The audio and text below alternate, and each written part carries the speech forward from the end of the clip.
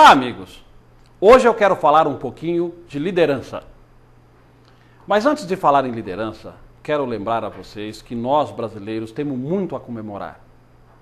Primeiro, porque a economia eh, começa a dar sinais de reaquecimento. Segundo, porque nesta semana nós fomos escolhidos para sermos sede da Olimpíadas. Nós temos aí dois eventos que vai mudar a história do Brasil para sempre. Em primeiro lugar, a Copa do Mundo de 2014. E em segundo, as Olimpíadas no Rio de Janeiro em 2016. Eu não tenho dúvida de que o Brasil nunca mais será o mesmo depois destes dois eventos. Isso vai nos posicionar no cenário mundial de uma forma totalmente diferente. Vamos passar a ser visto como nunca fomos vistos antes. E o que, que significa para todos nós? Muito mais oportunidades. Um crescimento econômico como nós nunca tivemos. Agora, temos um problema. Vai nos faltar, como sempre faltou, verdadeiros líderes. Nós, cada vez mais, vamos precisar de grandes líderes em todas as áreas em todos os segmentos. No comércio, na indústria, na, educação, na área da educação, na política, enfim, enfim, em todos os lugares. Muitas vezes um líder ele é mal compreendido. O que é ser um líder? Será que um empreendedor é líder? Um gerente é líder? Será que um homem que detém bastante conhecimento e informação é líder? Será que um homem que está na frente do povo é líder? Nem sempre. Um empreendedor, ele pode ser muito habilidoso. Aliás, o empreendedor ele, ele tem esse dom de identificar oportunidades. Mas às vezes ele tem dificuldade em liderar. Um bom gerente, por exemplo. Um, um bom gerente ele pode, ele pode ser muito bom em metodologia de trabalho. Ele pode ser bom em processos operacionais mas às vezes ele pode ter uma grande dificuldade em liderar pessoas. Uma pessoa que detém muito conhecimento, por exemplo, às vezes você vai a uma universidade e conhece lá grandes pensadores, pessoas que estão acima da média, acima do padrão.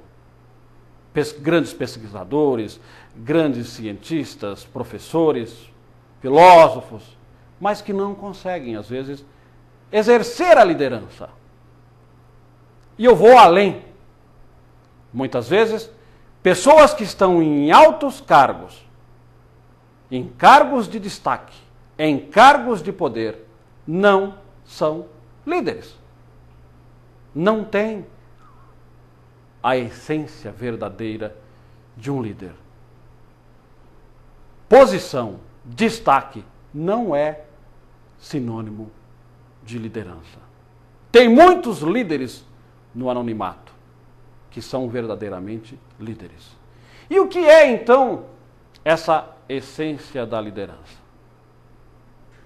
Evidentemente que, em primeiro lugar, um líder é aquele que faz com que as pessoas o sigam de maneira natural, livre, espontânea, porque gosta da sua maneira de ver as coisas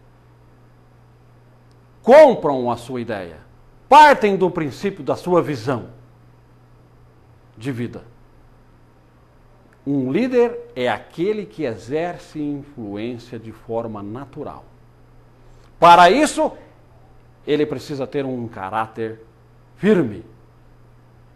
A liderança começa no caráter. Porque as pessoas conhecem a profundidade do caráter de um líder.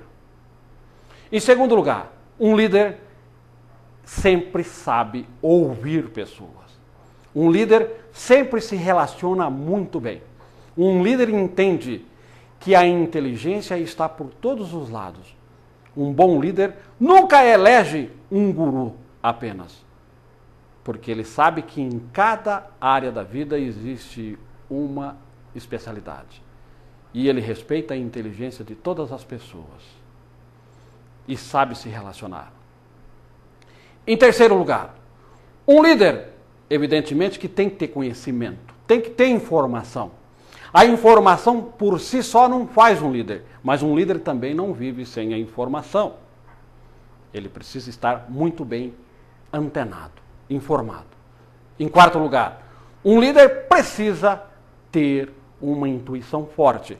Além de ser muito bem informado, ele precisa também ter uma intuição forte, porque às vezes a informação é insuficiente. Existem algumas coisas intangíveis que só a intuição resolve. No caso de um perigo, de uma energia destrutiva, ou até mesmo de uma oportunidade, questões morais, um líder só consegue identificar com intuição. Em quinto lugar, um líder precisa ter experiência. De que forma? Um líder precisa ter aprendido a superar dificuldades. Um líder precisa ter passado por grandes obstáculos. Ele precisa ser bom de superação. Em sexto lugar, o histórico de um líder conta muito. O que ele já fez? O que ele já realizou? O que ele conquistou? Qual é o histórico desse homem?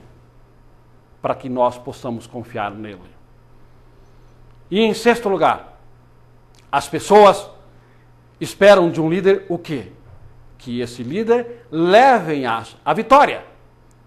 Quando uma pessoa se identifica com um líder, ela quer que esse líder leve ela a vencer.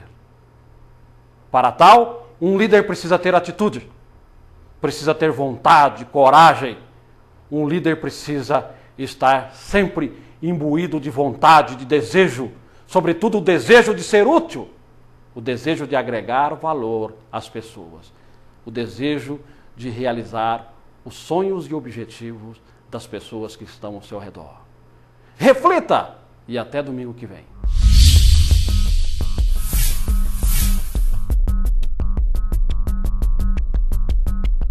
O Visão de Mercado fica por aqui.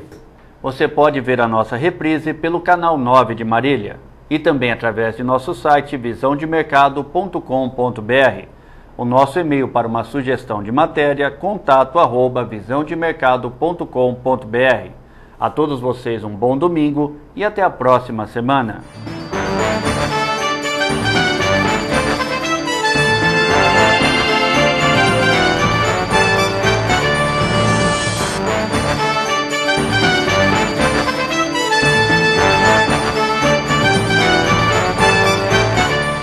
Visão de mercado com Rogério Cabral. Oferecimento: Estruturas Metálicas Brasil. Qualidade e segurança a serviço do cliente.